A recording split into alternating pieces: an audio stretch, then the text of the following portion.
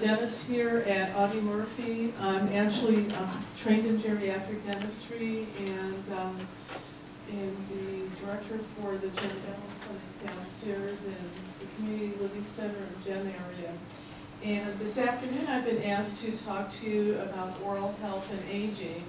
And so what we'll do here in the next 45 minutes or so is look at how aging impacts the the oral cavity, including the, the oral tissues, the bone, the teeth, and, and the oral mucosa.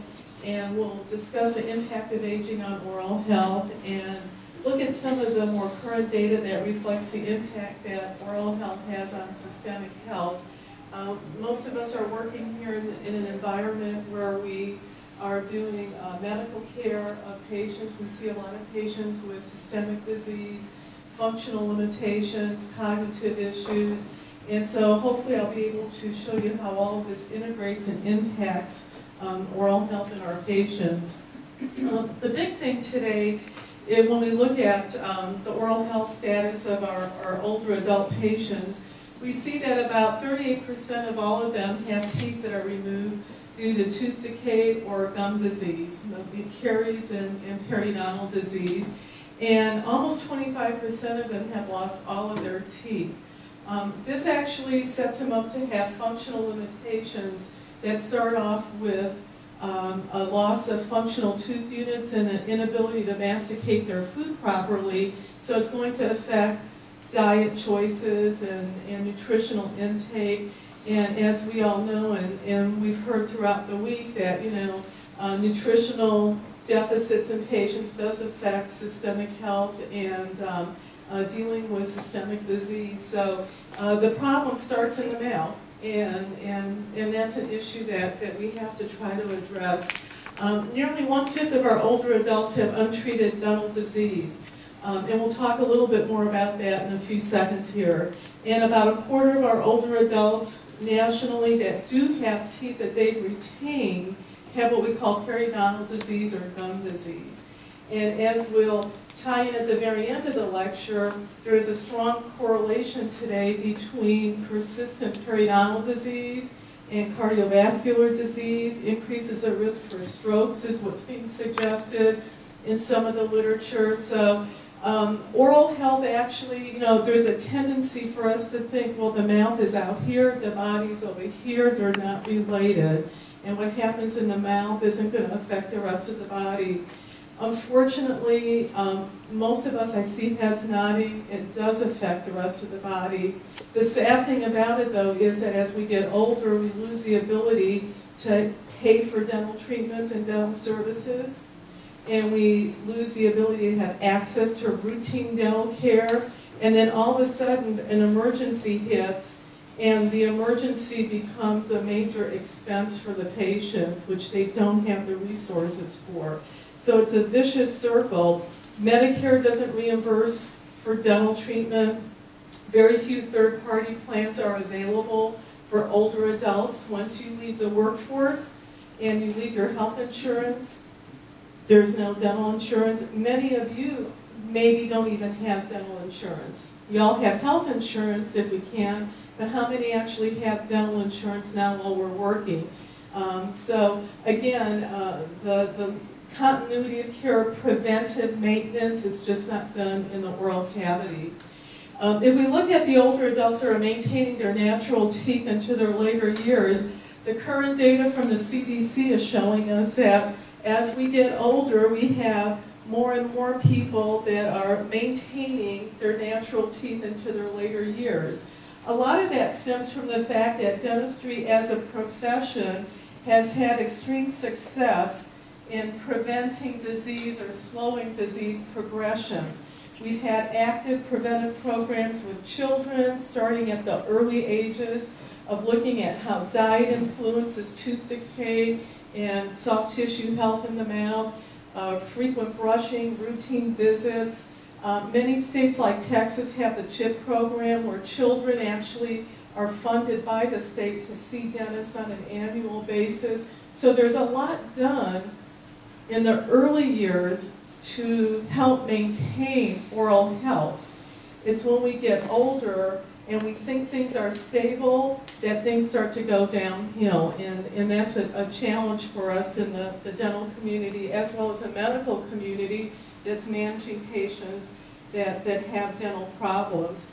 Um, as far as utilization, we can see that the utilization for dental services is great between the ages of, of 5 and, and up to about 55, 64, and then it drops down you know, exponentially as they get older. And, and a lot of this, again, is the finances. And as people develop functional or cognitive limitations, their access to care becomes an issue.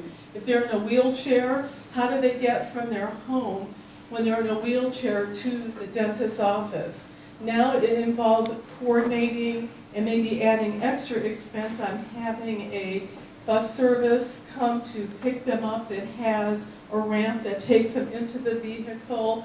Um, we see patients in our clinic that can't even sit in a wheelchair, they're gurney bound.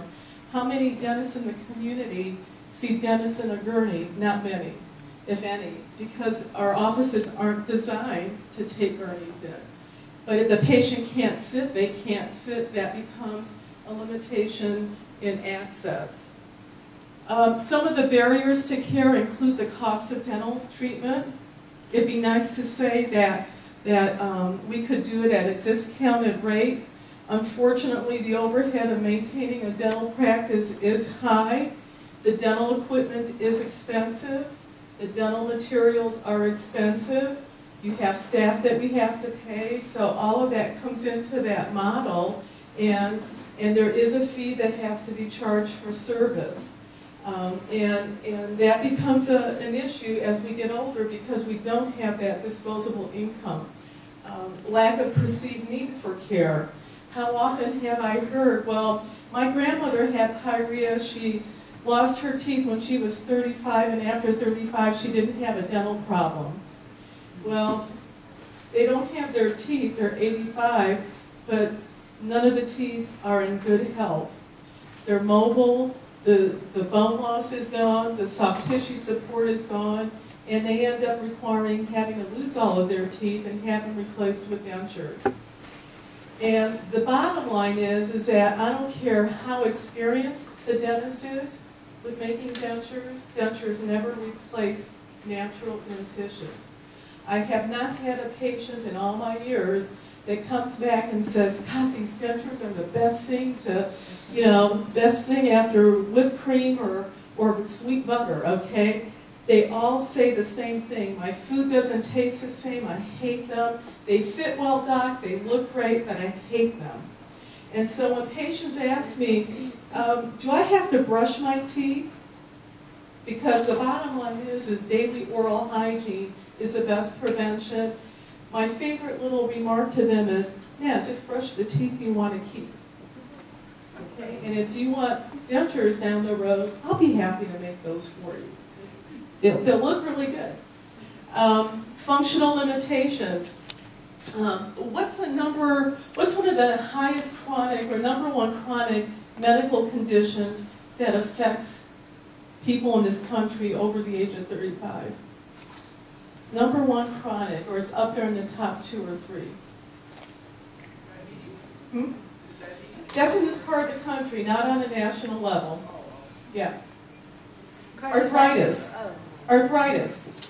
Arthritis is the number one chronic medical condition that's treated. If you look at the top prescriptions in this country, if you look at CDC tables, arthritis is right up there. It used to be cardiovascular disease was right up there. And actually, arthritic conditions have, um, some of the tables now surpass that if you look at insurance companies and what they pay for. So all of us notice that there are signs and functional limitations that occur usually mid to late 30s that progress as we get older, depending on if there's been trauma, uh, genetics, uh, risk factors that maybe accelerate the, the degenerative changes. But along with that, we notice, and some of you may notice, that, you know, when I grip things, I don't have the grip like I used to. I used to be able to open the pickle jar with no problem. Today I gotta get one of those little rubber things that you stick on top of the lid to help get a little better grip. so that I can open the lid of pickles. Functional limitations can start very subtly, and they're very minimal. That impacts our ability to hold a toothbrush. Or if I have pain, if I have osteoarthritic issues in my hand, if I have rheumatoid arthritis, if I have fibromyalgia, I'm not able to maybe grip my toothbrush like I should. And I may go through the motions of brushing my teeth, but I'm not effectively debriding the teeth because I don't have that good functional grip. So functional limitations right off the bat can do that. Another interesting thing is that there was a study done here at the Health Science Center about 15 years ago. And we were looking at oral health and basic health of the patients. And one of the things that came out of the data was that people who had lower extremity weaknesses had poor or poorer oral health. They had higher plaque scores, more periodontal disease.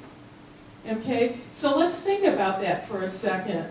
What would be the association between lower or weak lower extremity strength and poor oral hygiene? Most people stand to brush their teeth?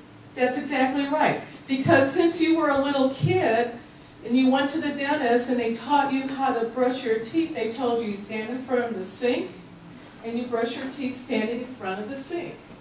This didn't sink in my head until I was down in ECTC about 22 years ago when I started.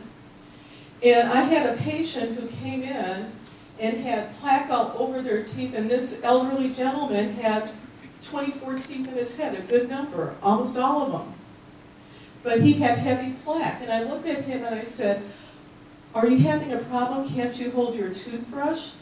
And he looked at me and he said, don't you see I'm in a wheelchair? I had my knee replaced. So what does that have to do with you not brushing your teeth, sir? I can't stand up. Can't you see? And the connection was made. We con we're conditioned to do our oral hygiene standing up at the sink. And so when we get to a point where we get a knee replacement. Or uh, we have hip surgery.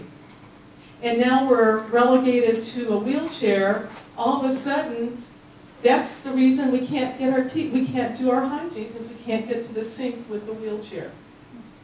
So functional limitations extend. So as you work with your patients, you have to start realizing that there are certain things that we're conditioned to do that when we lose that functional ability, we can't do anymore. So the, the solution was simple. You know, you can brush your teeth in your wheelchair using a couple of cups, one with water, clean water, and one to spit in. And it made the biggest difference. Oh, well, no one told me that. Well, sometimes we have to be told things. You know, we all know that. So those are issues, again, that we find. Transportation problems we talked about and fear. Okay, how many of us really like going to the dentist? Okay, in here, raise a hand. Who just looks forward to that annual dental visit? Everyone's going, yeah, yeah, no. I'll tell you a little secret. I became a dentist because I was so afraid of going to mine. My dentist hurt like you know what, okay? And I was so afraid of going to him, but I realized that I had to go, and I thought, you know what, I'm going to go to dental school and I'm going to learn how to do dentistry so I don't hurt my patients. And maybe then I'll be able to, to get over the fear, because what do they say, to conquer fear, you have to face fear in the face. Okay, so went to dental school, and here I am all these years later, and I still don't like going to the dentist. I hate getting my teeth cleaned, okay, fear. And that keeps a lot of us away from the dentist. But it's one of those things that you got to do. So when we look at the aging oral cavity, what we see is, we see, and the data tells us with the NHANES and nutritional, national nutritional studies that are being done for the last 15, 20 years, from CDC data, there's a lot of published data that as we get older, we see tooth decay on the rise. And that's because we've done a good job teaching people how to keep their teeth but once they get debilitated, once they get sick, once they get on multiple medications, things start to fall apart in their mouth really fast and they get dental decay. gingival and periodontal disease kind of the same way. You know, we may hold on to our teeth, but then as we get a little older, we find that the hygiene isn't there. Um, you know, I was tired, I heard that from a patient this morning that I saw.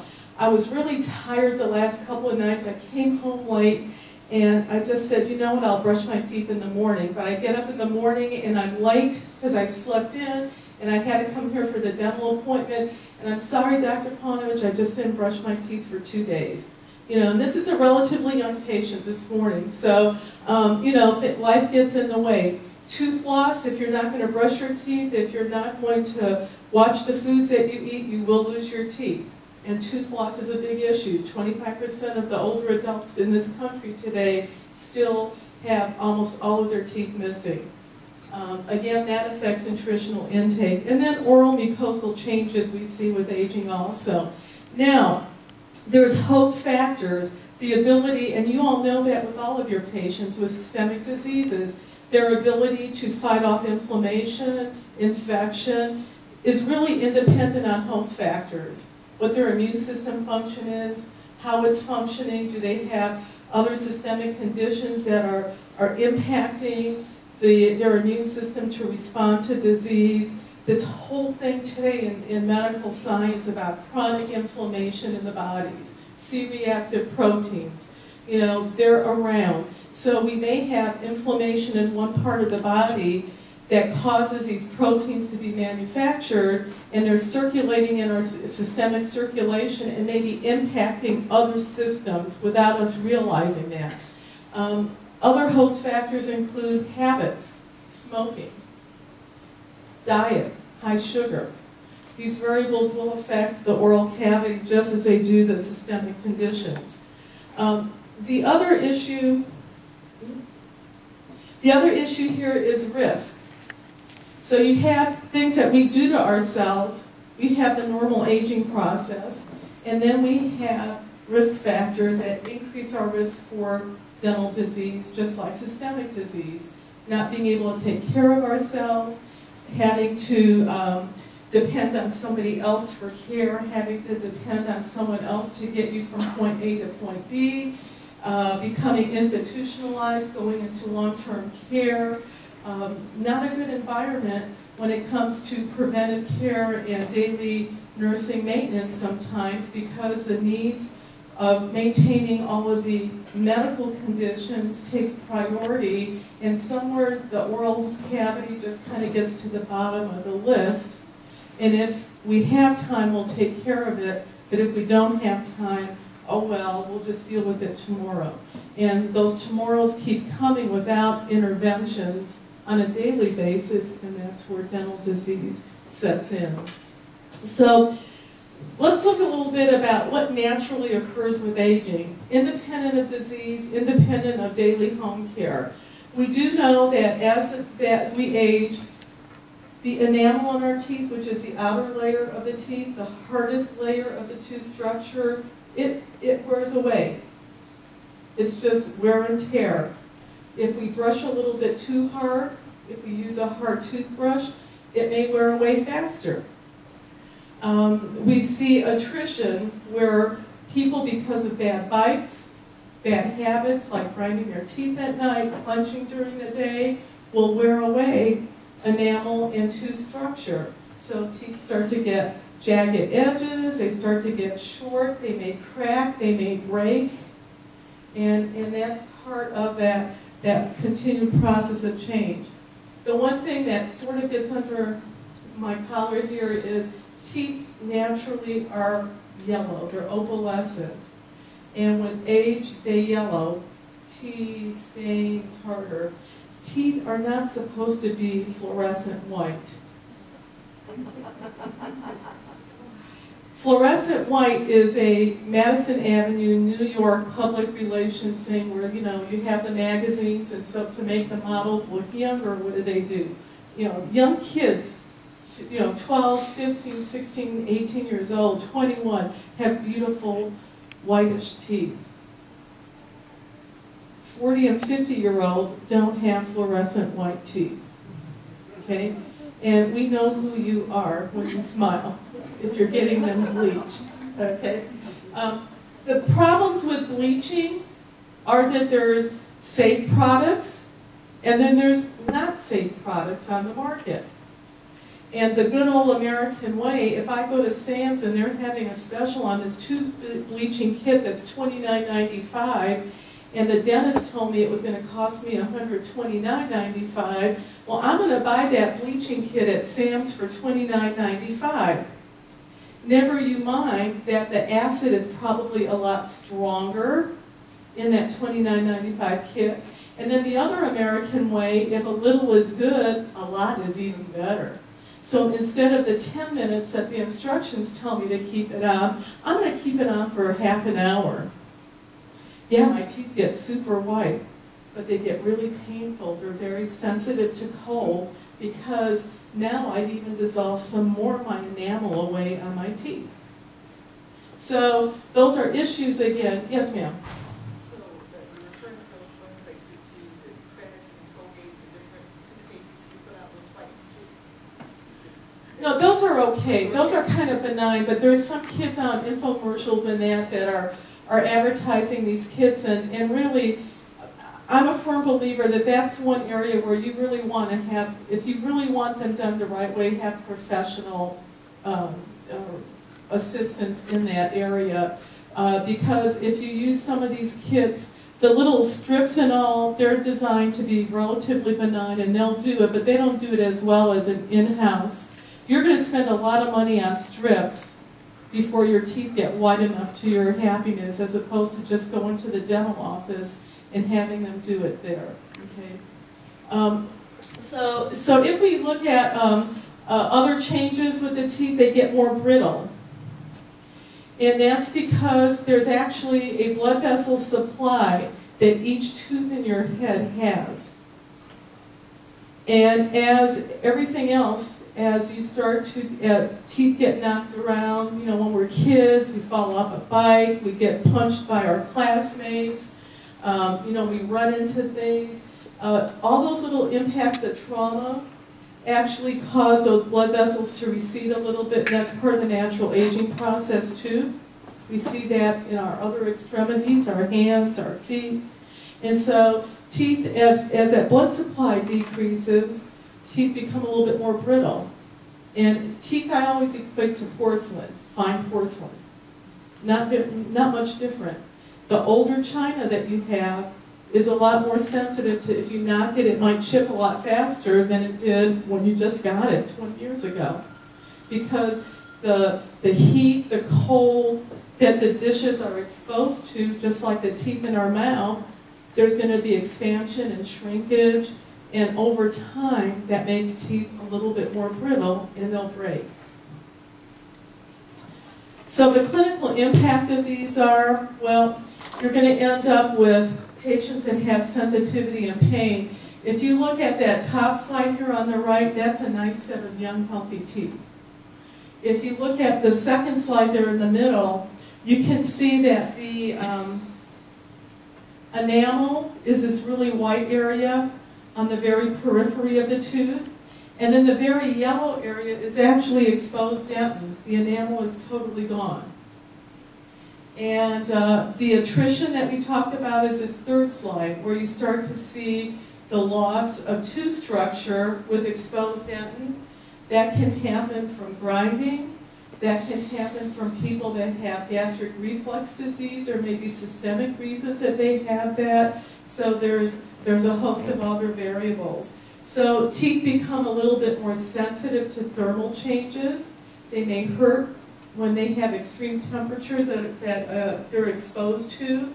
We increase the risk for tooth decay now when dentin is exposed because dentin is, is a lot more pervious than enamel is.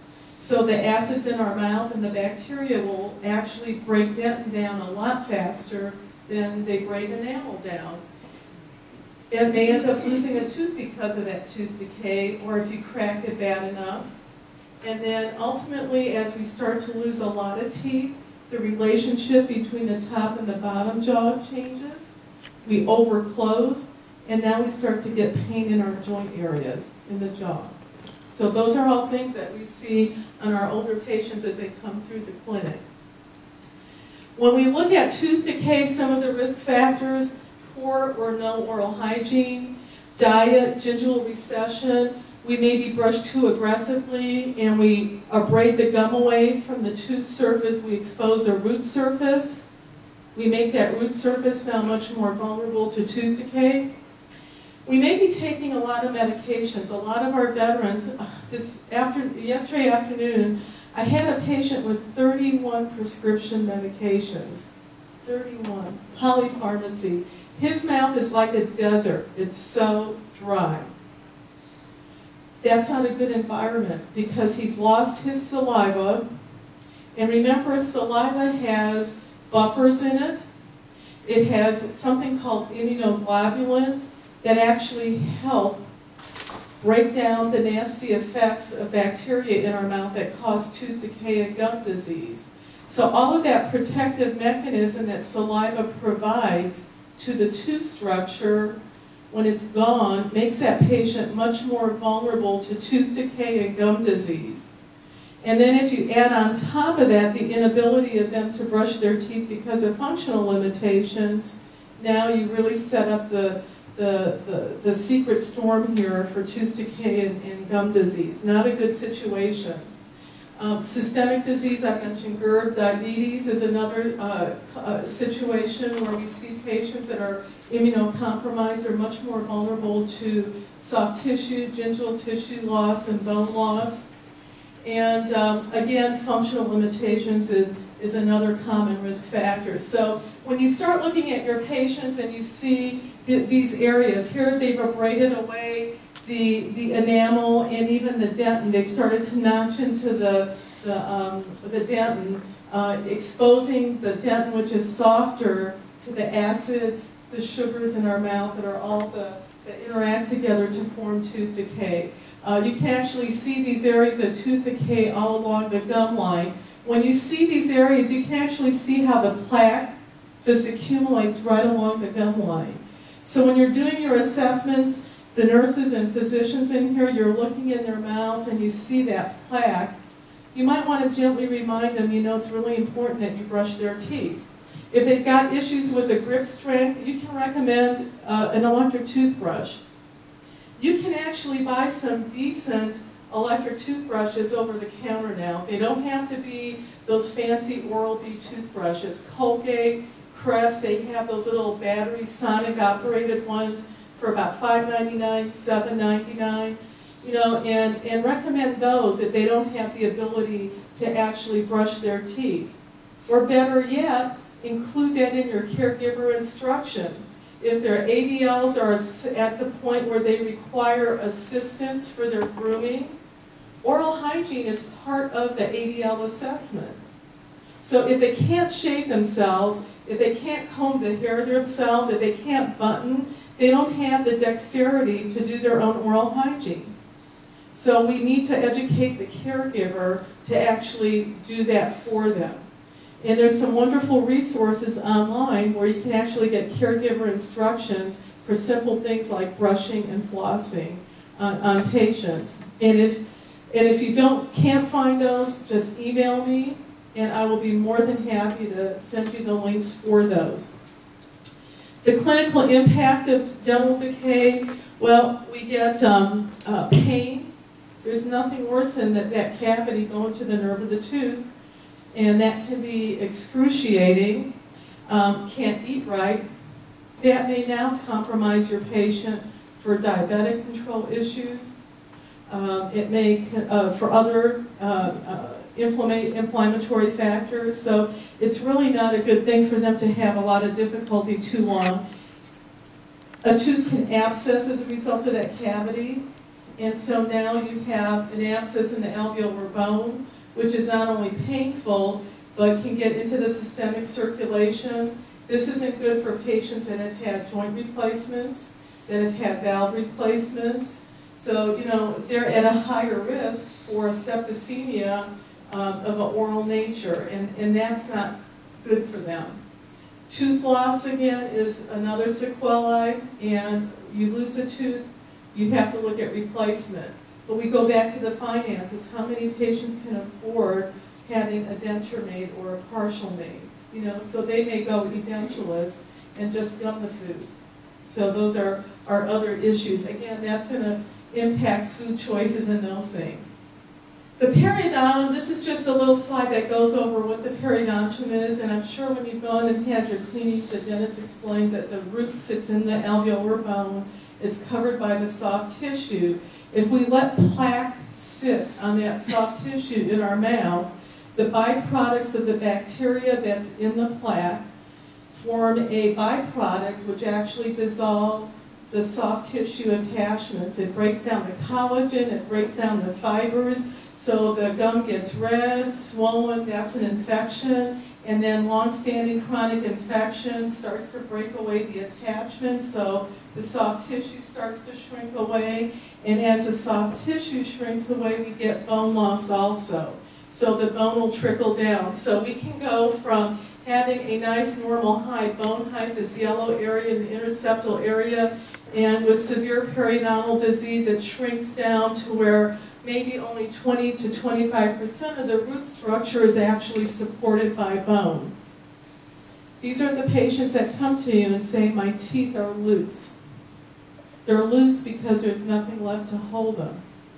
And I hate to tell you all, but and I hate to tell the patients, when they get loose, I can't tighten them up.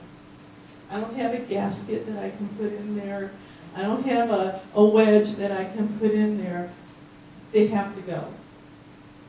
They can be perfectly healthy, no tooth decay, no fillings, but if that hygiene hasn't been there over the years, and this isn't just a recent onset, this happens to people that in their 20s and 30s, the process starts.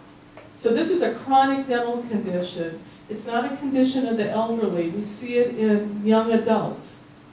And once you have gingivitis and once you have periodontitis, those bacteria from that disease process, even if you finally go get routine dental care and you're really religious about your hygiene, that flora is established, that colony of flora is established in your mouth.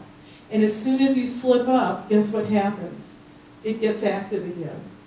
So periodontal disease can have kind of a curve where it's stable for a while, and then maybe your diet gets bad, you don't brush or floss like you should, and so then we'll see periodontal disease increasing again with clinical signs of gingival inflammation, soft tissue inflammation, bleeding on probing. When you brush your teeth, you'll notice a little bleeding. And then you get back to the dentist, you get everything cleaned up, you say, you know what, I'm going to buy a Waterpik, I'm going to floss, and then you're okay again until you get into the hospital, you have surgery, now you're dealing with pain and you forget about your hygiene, and the whole process kicks in again. And every time it kicks in, it gets more aggressive, and it takes longer for that process to stabilize. So it, it, it's not a pretty picture. Risk factors for periodontal disease are not that much different from dental decay, poor or no oral hygiene, tooth movement or loss, diet, multiple medications that cause dry mouth again. So dry mouth is a big problem. Systemic disease, like diabetes, GERD, those are the two that come to mind. And then again, functional limitations. So if we look at gingival and periodontal disease, about 40% of ambulatory older adults have gingivitis. So if you, one out of every two patients that you see for sure, and in this population, it's just about every patient that we see has gingivitis. 33 to 60% have measurable periodontal destruction, and we measure that when we take our little probes and we look to see where that soft tissue and bone level are. Um, we see a lot of gingival recession when they smile. You'll see their gum line should have been up here with their bone level. Now it's down there. They've lost the attachments that kind of anchor that tooth. And so now you've got tooth mobility. That tooth is starting to move. Or they'll drift. They'll drift. A lot of times, uh, some of my older patients will ask me, when I was young, my teeth were perfectly straight. Why are my teeth so crooked and they seem to be caving into the front? Well, periodontal disease, if it's the bone shrinking away, teeth naturally drift towards the center. And that happens as we get periodontal disease, and then they're gonna be moving back and forth as they're drifting, depending on how much bone loss we have. So the clinical impact here is that we get pain, we increase our risk for infection, we have uh, trouble chewing our food now because the teeth are moving. So when we masticate, we can't really load that pressure to, to chew and masticate the food. Um, we have increased bone loss, which then keeps that disease process continuing. Um, we expose the root surface of the teeth, and the root is the most vulnerable part of the tooth for tooth decay. Many patients that we see in our GEM clinic have never had a filling on the crown of the tooth, but they come in with tooth decay on the root surface. And dentistry, it's very difficult to restore tooth decay on the root surface. If it's small, it's one thing, but if it wraps around the whole root, it's a goner. There's just, we don't have the materials that will stick to that tissue. Plus, as that bone shrinks away and as that tooth moves, there's more flexion in the tooth and it pops fillings out really easy. So that's a little battle that's very hard for us to win. When we look at the alveolar bone itself in, in, with aging, actually there's been several really good research papers done in the last 15 years that say when we look at, you know, we all know that we're going to lose bone mass as we get older. I'm sure you've heard that this week already. That's part of the aging process. Actually, one of the, some of the first places that we see bone loss mass with aging is in the mandible. So we can actually, when we do our panoramic images, we can already see bone mass changes in 50-year-olds, 60-year-olds. So as those changes hit, we can actually see it. Um, we can actually look at um, resorption that happens. If they, a lot of bone resorption is genetically tied in, and a lot of it is also tied in to hygiene and the presence of periodontal disease. So those factors will actually accelerate alveolar bone loss. The other challenge comes in is that I hear patients that say, well, my mom had pyorrhea when she was 50, she lost all her teeth. I'm 65, and so if I have to lose my teeth because of periodontal disease, that's okay. But mama couldn't wear dentures. So does that mean I can't wear dentures? When I hear someone tell me that, the answer to that patient's going to be probably so. And the reason is that if you have periodontal disease and it's active, which means that the gums are red, they're swollen, the teeth are really mo movable, you know, you can just kind of wiggle them. That's active periodontal disease, gums are red. When I take those teeth out, I have that active disease, that chronic disease bacteria in their mouth. I expose the alveolar bone to the oral flora in the cavity. Some of that bacteria is going to still be there in that bone socket. There's no way for me to totally sterilize that bone from the, that bacteria. So as that bone is healing, we're going to see more remodeling of the bone because of periodontal disease, the defects from the disease itself, and the bacteria, which means that the mandibles or maxilla will resorb even more, as much as 50% of what it was on the day that I extracted the teeth. So that renders me with an alveolar ridge that is really small, thin, and I can't really sit a denture on top of it. Those are the dentures that some of your patients have that kind of float around in the mouth because the ridge is like a really flat plane. It doesn't have the contours for a denture to sit on top. That's why dental implants have come into being, to help stabilize some of those dentures. But dental implants aren't the answer for everybody. Not like Clear Choice wants to make you think that you can go in in the morning with no teeth and come out that night with a beautiful deck of teeth with dental implants. Not that easy because if the bone shrunk down enough, there may not be room to put a dental implant in. And then you have to have bone grafts. and other surgical procedures. So it's not a slam dunk with dental implants either. Dental implants are great for that one tooth loss or a few tooth loss, but full mouth restoration becomes a whole different story. Plus, you're talking about big bucks. One dental implant on average is about maybe $3,000 for placement.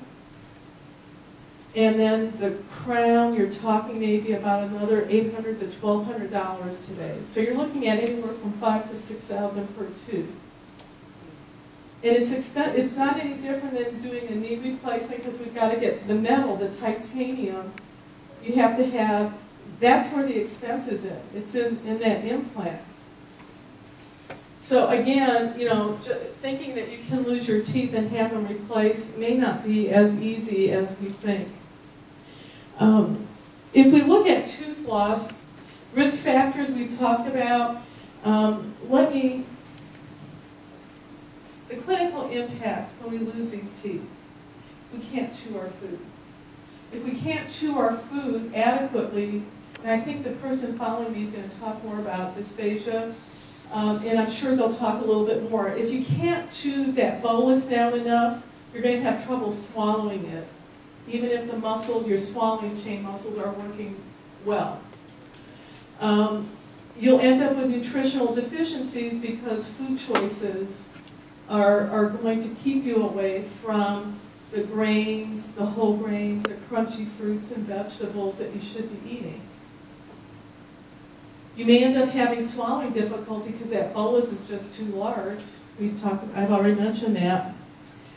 And one of the things that happens is that you can't communicate like you used to because our teeth are used for phonetics. Our tongue has to hit up on some of the, the consonants that we pronounce. It hits up on the back of the front teeth or on the sides. So if you lose those stops that the teeth give the tongue, patients have a problem communicating, and that can be frustrating for them. We see that when we give them new dentures, because they've been without teeth for so long, and then they get teeth, and it's really hard to speak till they get used to it. So those are, are challenges. Um, it can affect their facial appearance. They can have a really sunken look. A lot of our, our patients are excited when they get their dentures, and the first thing their spouses say is, you look 10 years younger, because we fill things in again. You know, because our teeth and our alveolar bone actually give us facial contours. Um, the impact on social interactions. I can't tell you how many nursing facilities I've gone to, and patients will sit there and they'll they'll stay in their rooms because they're embarrassed socially to go out and interact with other people because they have a funky or no smile, no teeth in their smile. They have really rotten teeth, or they know they have bad breath and they can't do anything about it. So social interactions are, are impacted. Tooth loss going to edentulism. Um, we talked a little bit of some of the risk factors with dentures. Um, the earlier the patient is and the more aggressive periodontal disease is, the more resorption of the bone there will be. The more resorption of the bone there is, the less likely there is for a good denture fit to be successful, or a partial denture fit. Um, as we lose teeth and you have bone loss on adjacent teeth, sometimes that periodontal disease is so aggressive that we take a few teeth out. Now the patient are using the remaining teeth to chew. They try to really masticate everything they can, but what do they do? They start loosening up the adjacent teeth. So we actually see more tooth loss. Uh, dentures and partials can traumatize soft tissues. We see uh, fungal infections because dentures and partials are not removed and cleaned on a nightly basis. Number one cause for candidiasis in the mouth is unclean dentures, oral thrush. Patients don't disinfect their dentures on a nightly basis. They stick them in the denture cup to soak. That denture cup hasn't been changed for a week. So they got a little science experiment there at the sink with the denture cup.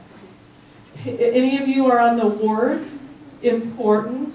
Those denture cups need to be emptied every time the denture goes in the patient's mouth.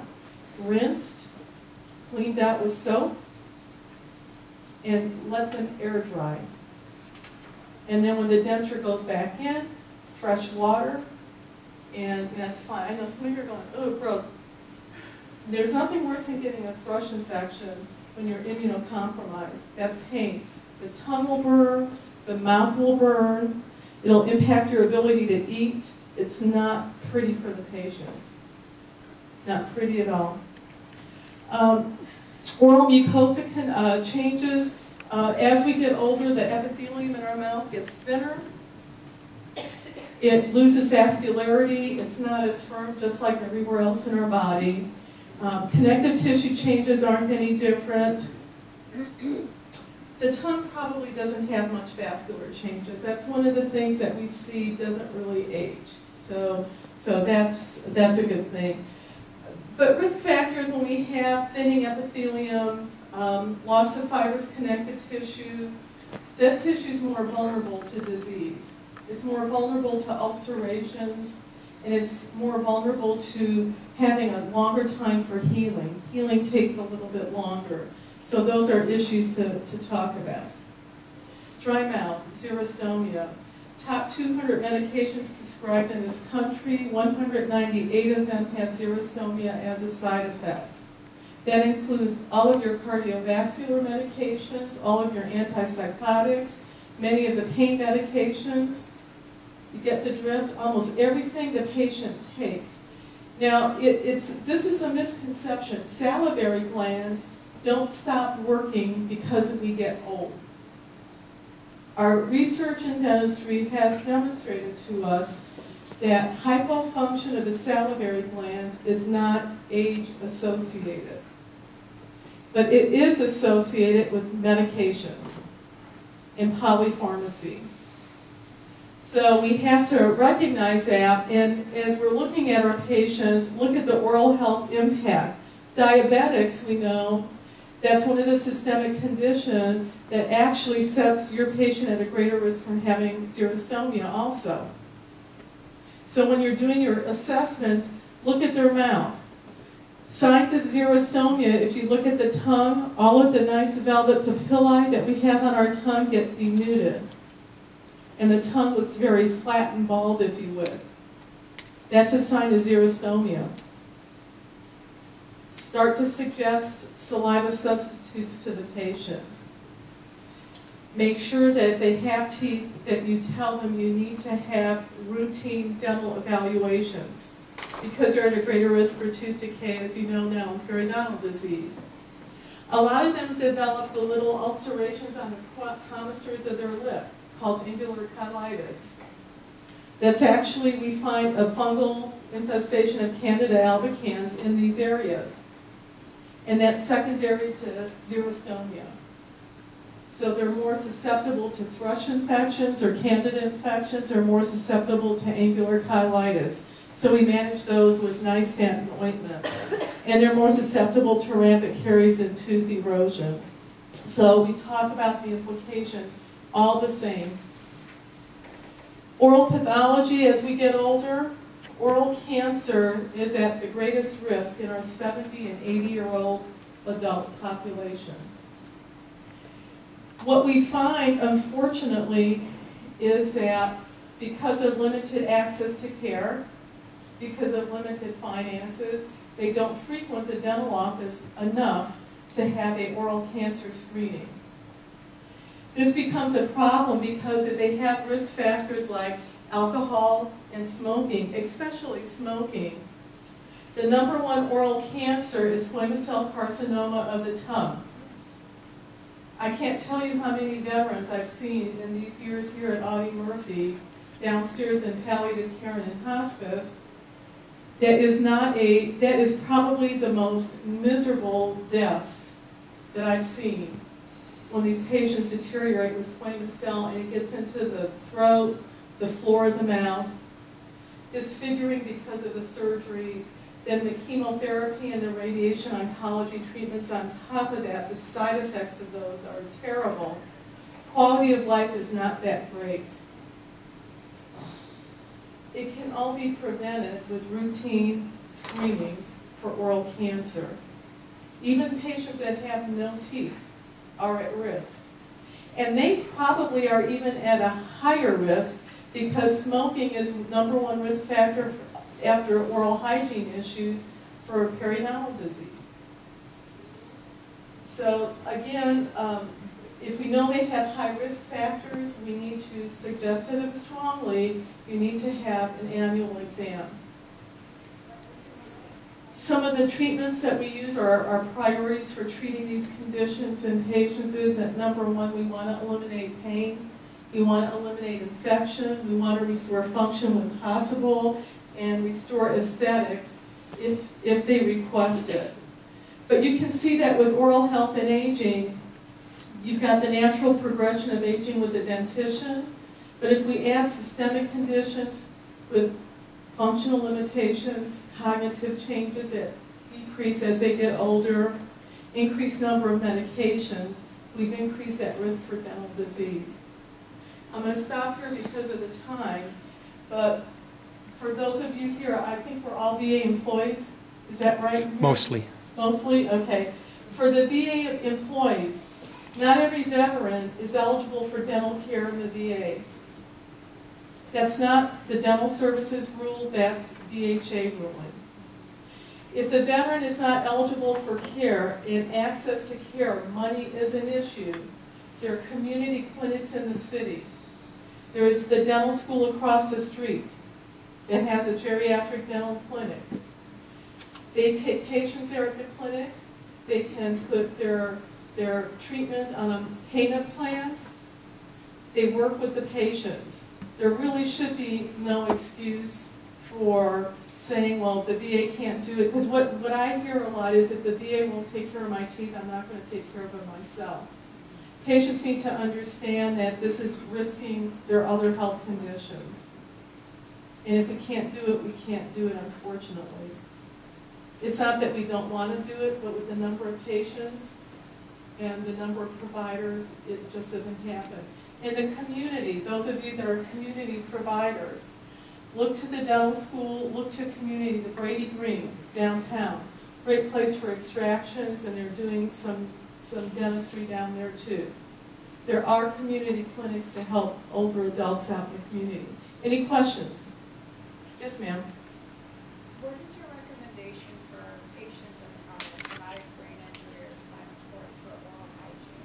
They have difficulty swallowing and to brush their teeth? Um, number one is I actually recommend that a caregiver be trained to do the brushing for them. As far as, and the question was, what's the recommendation for a TBI patient um, for brushing their teeth? That maybe can't do it, can't swallow, has is a high risk for aspiration. Let me just backtrack a real quick second. If they're a high risk for aspiration, they have teeth in their mouth, and they have plaque in their mouth, they're at higher risk for pneumonia because of aspiration pneumonia, because of the plaque in their mouth.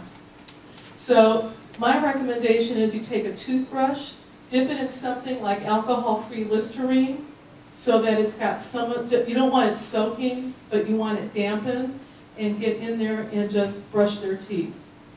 And I would have a caregiver, whoever does the grooming, the bathing, uh, be trained in that area. Who does the training? Um. Well, I can give you, the, the CDC has a great website that has these pictures that actually show the caregiver. And if they're a, if they're, are they in the HBHC program? Um, if you come and let me know, we'll see that we can get someone out to the house to, to do the training from the dental, uh, from our dental folks if we can, okay? But I can give you the material that you can give the caregiver. It's amazing, caregivers read this because it's designed for the non-trained professional. So it's really, really easy, and I'll give you the link, and we can actually print some of those handouts for you. So when you're down in clinic, let me know. Yes? What do you have on mouthwashes? And then I've heard people gargling with hydrogen peroxide. Do you have a recommendation? Well, now hydrogen peroxide gets rid of materia alba, like little food particles in the mouth. Mouthwash is something that's antibacterial. There's a lot of good products on the market. Because dry mouth is a situation that we see with older adult patients, I'd recommend the alcohol-free because the alcohol in the oral rinses actually will burn the mucosa, so it's not a comfortable feeling. Um, the Listerines, the Crest Oral Health Guard product line is really good. Biotène makes a really good um, oral rinse if they've got dry mouth problems, so those are all, all good recommendations. Um, there is a false sense of security with uh, hydrogen peroxide rinses. It really just takes care of materia alba. And it's not an alternative for not brushing. Any more? Okay, great. Yeah, one more? Yes. Gum, what kind of gum? Chew. What kind of gum to chew? Yes, no, do it, don't. Well, you know, if you can chew gum, chew it. If you have dry mouth, a gum with xylitol is the number one ingredient. That's a sugar uh, sweetener. Uh, xylitol has been shown to have anti-cariogenic properties, which means that that it, it when you chew it, the if you have some of the bacteria in your mouth that make cavities, it actually dilutes the acid effect of that bacteria, so you won't get tooth decay as fast. So xylitol, so things like Trident, Carefree has it. If you look at the gum that you're buying that has artificial sugar or sweeteners in it, and if xylitol is the first ingredient, that's a good gum to chew. Uh, if you can tolerate chewing it, people have other issues with with TMJ pain and that type of thing, or their teeth will hurt if they chew gum. So if, if it hurts, don't chew, but if you like chewing gum, do it, but make sure it's sugar-free and it's got xylitol in it. Okay, we're done. Thank you. Obrigado.